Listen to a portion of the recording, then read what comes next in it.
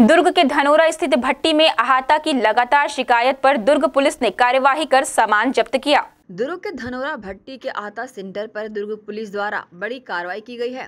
बता दें कि विनोद सिंह नामक व्यक्ति काफ़ी लंबे समय से भट्टी में आहता का निर्माण कर उसे संचालित कर रहा था। इसकी शिकायत कई बार आम जनता ने पुलिस से की भी थी।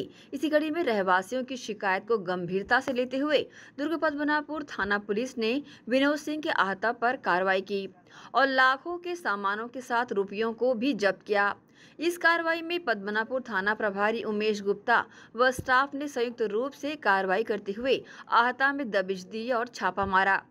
मामले को लेकर थाना प्रभारी उमेश गुप्ता ने इस तरह की जानकारी मीडिया को दी है। पिछले एक हफ़्ते से, लगभग आठ दस दिनों से बार बार मुझे कई महिलाओं का कॉल आ रहा था, जो थाना प्रभारी पदनापुर का जो ऑफिशियल नंबर है, उस पर कॉल आ रहा था कि यहाँ पे धनोरा शराब भट्टी के आसपास बहुत सारे लोग शराब पीते हैं और रोड पे गाड़ियाँ ऐसे पार्क कर देते हैं, जिससे कि महिलाओं को और बच्चों को इस रास्ते पे आने जाने में बहुत समस्या होती है। इवन एक महिला ने कहा कि कुछ लोगों ने उनके साथ गाली गलौज भी की।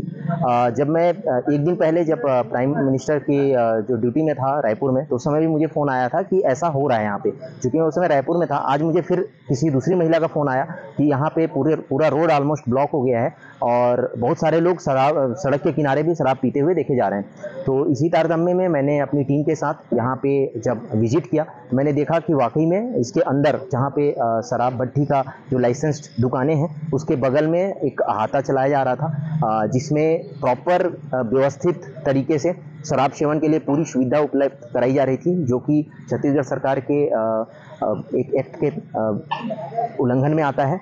और साथ ही मैंने टीम के साथ जब इनसे पूछताछ की और पता चला कि इनके पास ऐसा कोई लाइसेंस नहीं है कोई बार का लाइसेंस नहीं है इसलिए आज यहाँ पे ये कार्रवाई की गई। जी अभी जो नाम सामने आ रहा है वो विनोद सिंह बता रहे हैं इनके जो वर्कर्स यहाँ पे हैं बाकी उनसे पूछताछ की जाएगी। अगर इसके पीछे कोई और है तो उनका भी जिसमें आबकारी अधिनियम के तहत कार्रवाई होती है जिसमें कि किसी भी स्थान पर इस तरह से बिना लाइसेंस के आप शराब पीने के लिए व्यवस्था मुहैया नहीं करा सकते। जबकि यहाँ पे आप देख सकते हैं कितने सारे डिस्पोजेबल्स और बॉटल जो हैं वो बिखरे पड़े हुए हैं अभी भी।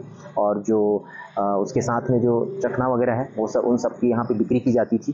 फ्रिज, सब कुछ बैठने के लिए, मेज टेबल, ये सब मुहैया कराया जा रहा था। साथ ही साथ उनको स्नैक्स भी अवेलेबल कराए जा रहे थे। इसमें जो कि जैसा कि मैंने बताया, मूँगफली और ये इत्यादि चीज़ें। जी इसमें कार्यवाही होती है।